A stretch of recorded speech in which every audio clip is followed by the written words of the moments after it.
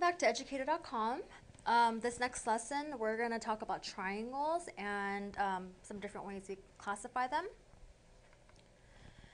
Okay, so triangle, a triangle is a three-sided polygon. Now a polygon is any figure that um, has sides and it's closed. So a polygon can look like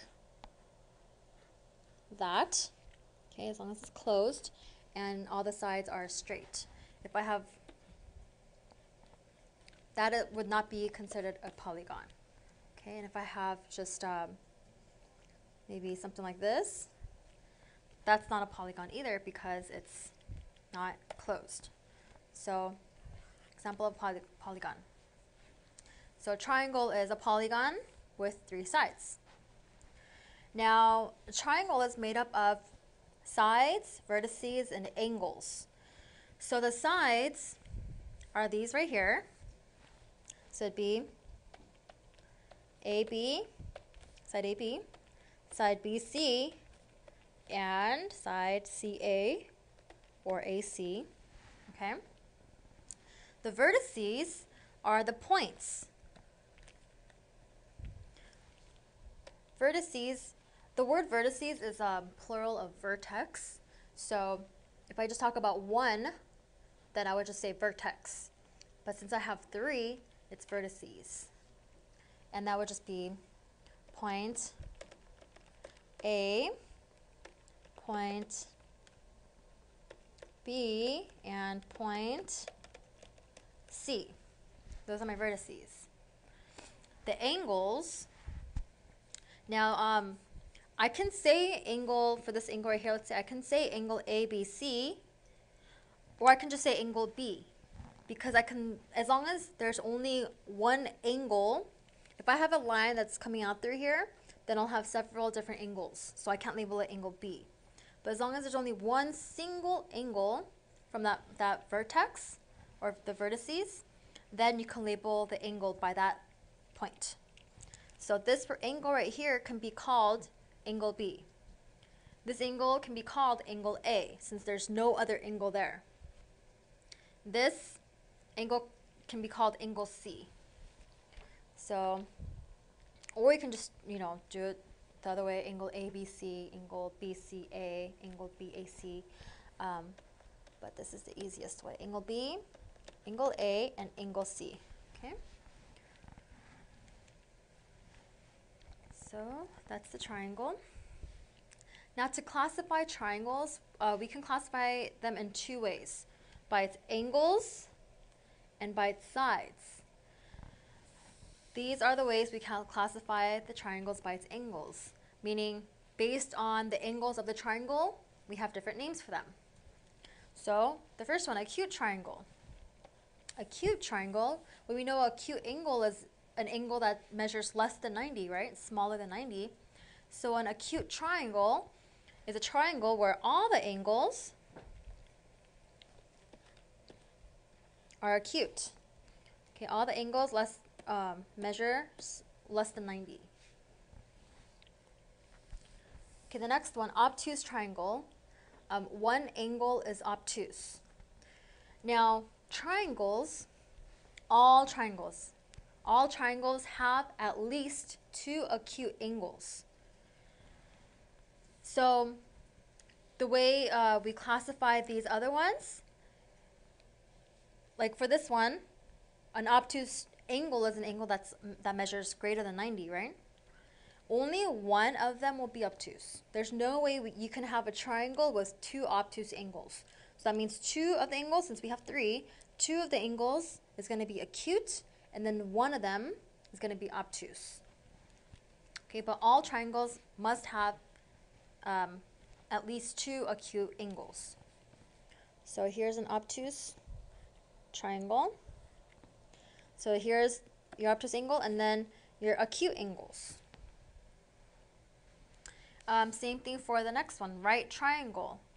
A right triangle is when only one angle is a right angle.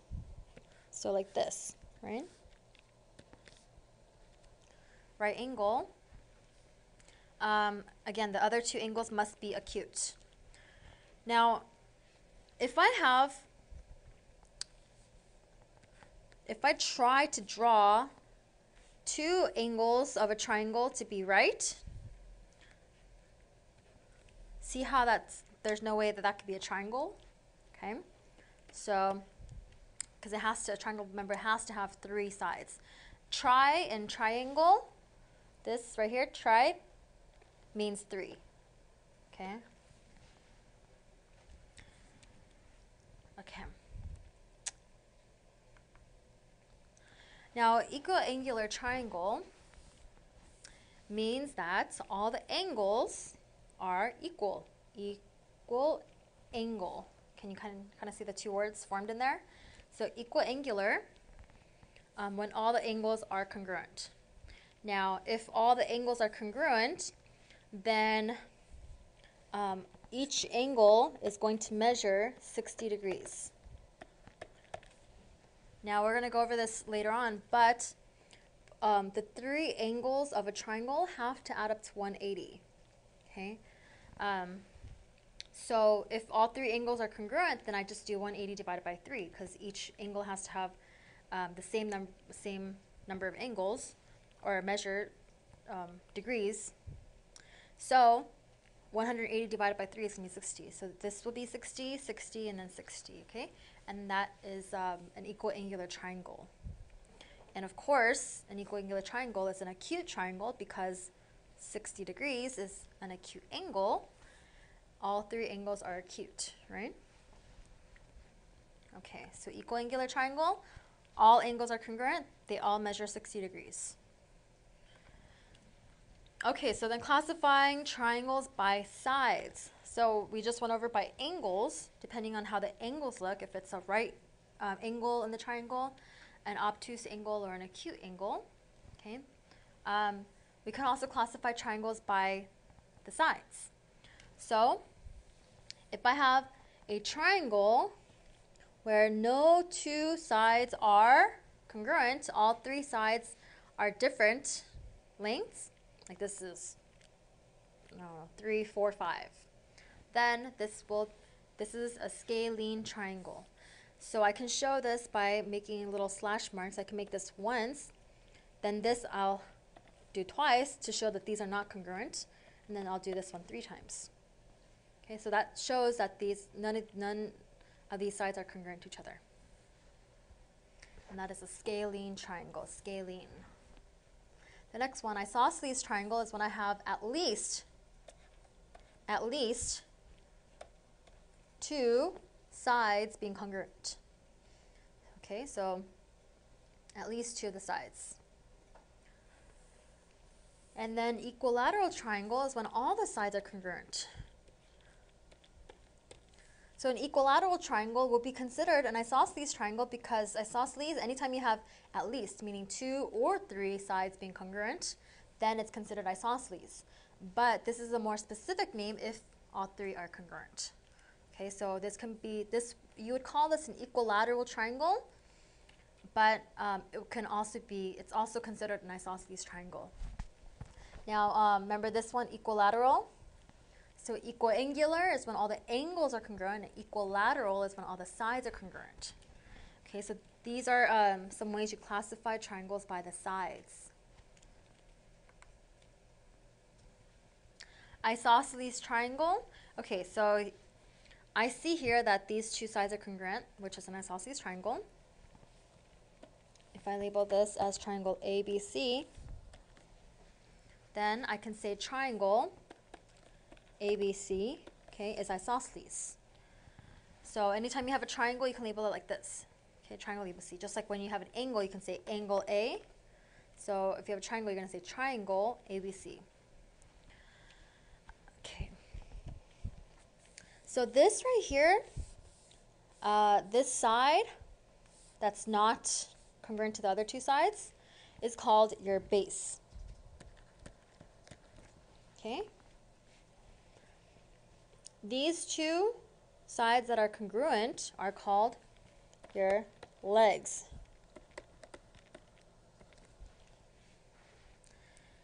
Now the two angles that are formed from the legs to the base are called base angles. So base angles would be this angle right here and this angle right here. And then this angle right here, or that point, is called your vertex. Okay, the uh, this right here that's formed from the two legs, the two congruent legs, is called your vertex. Okay, so we have legs, we have uh, vertex, we have base, um, and then you have base angles. Okay, and this makes up your isosceles triangle. And then just to go over um, the right triangle, these are also called your legs. But this one, it's not called base, it's called hypotenuse, right? The hypotenuse. So just to review over that. Okay, so the isosceles triangle, these two are congruent, so they are called your legs. This one is your base. Now base, um, don't think that the base is the one always, the side always on the bottom. No, it depends on the triangle. I can move this triangle around and make it look like this. And I can say that these two sides are congruent, right? Then this would be my base, and these are my legs. Okay? So, uh, find x, AB, BC, and AC. Let me just write this to show that they're my segments. So to solve this, if I want to solve for x, I know that these two are congruent, right? So since they're congruent, I can just make these equal to each other. 2x plus 3 equals 3x minus 2. Okay, then if I subtract the 3x, I get negative x equals, I subtract 3 over, so I get negative 5. x is 5. There's my x. AB is And I'm not going to put a line over this one because I'm finding the length. If I'm finding measure, then I don't put the line over it. So AB is 2 times 5 plus 3. So that's 10 plus 3 is 13. Okay. And then for BC, since I know x, even though this side is the base and it doesn't um, have anything to do with these sides, okay, since I know x, I can solve for BC. That's 5 plus 1, okay, so BC equals 6. And then AC, 3 times 5 minus 2, so that's 15 minus 2 is 13. Okay, And that's everything. Okay, so again, if you have an isosceles triangle they want you to solve for x, then you can just say that this, since, since um, this, these two sides are congruent, you can make these two congruent.